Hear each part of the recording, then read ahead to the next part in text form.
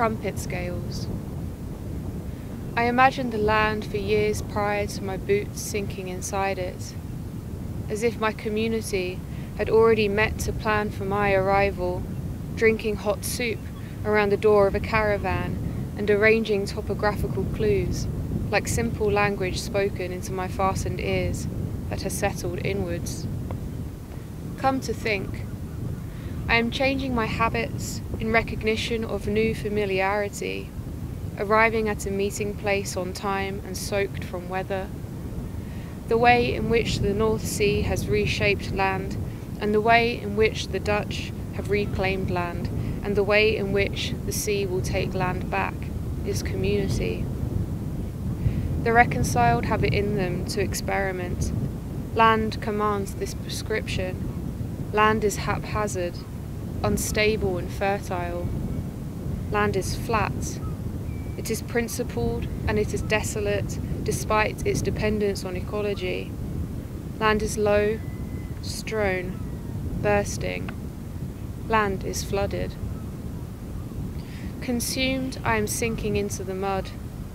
I am pulled out by a mysterious walker wearing wool trousers and big brown boots who mumbles about a battle from the early Middle Ages, here where I am sinking, when everything disappears. I smell my fingers, which have changed consistency. Consider the herring. I sat along the banks of the proper centre, my legs hanging above the water when I cried stingingly.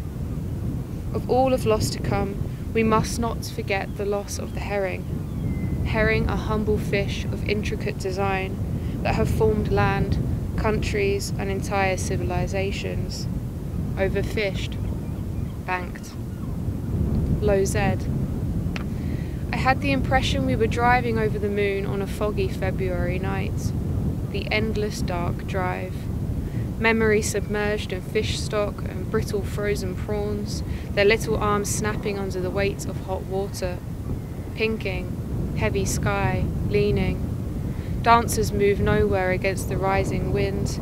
The start of the long night and the new tide was already tired. The motion of the old tide had forced an impression. Dead tired, shoulders slope into ceramic bathtubs barely covered, hardly rich, lukewarm and lime scaly. Comb out worm paths in dear children's hair riddled with mud. Dear children, this is not what they will teach you in your geography lesson. How to prepare for bed. Lesson 1 How to detect changes in the wind. Observe familiar movements. Go to your local cinema. Tell mum and dad how the film was after. Depressions. Observe suspension of familial ebb and flows. Domestic reliance Observe primitive parental and family animal behavior. Realignment. Observe personal response to the unfamiliar. Which songs do you sing, if any? Low. Keith was baptized by the jetty. It was announced in the school at morning assembly, the palms of child hands purpled cold and patterned with grit. Maybe it was some sort of offering, appeasement of tumultuous weather, an excuse to bring families together to exchange things, emotional practices, cheap hot dinners in front of TV sets, chit chat, prefabs. And have you seen the cat? Have you seen what's happened here? Keith was supposed to run before the relay, before the field.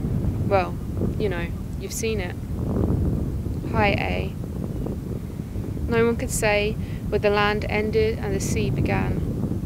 Hundreds of chests of drawers hung wide open, split silos, saltwater mar- marshes foaming at the mouth with brackish waste, doorknobs, sodden wallpaper, cattle, ruined card games, bed sheets, spoiled, busted bikes, bloated, floating worms. I knew the land for years prior to my bones inside it. Decay matters more than life. It is true that in the winter everything has sunk, and in the summer everything is sinking. I talk to bird watchers while I roll jelly green sea glass between my fingers until it is round and frosted enough for my earring collection.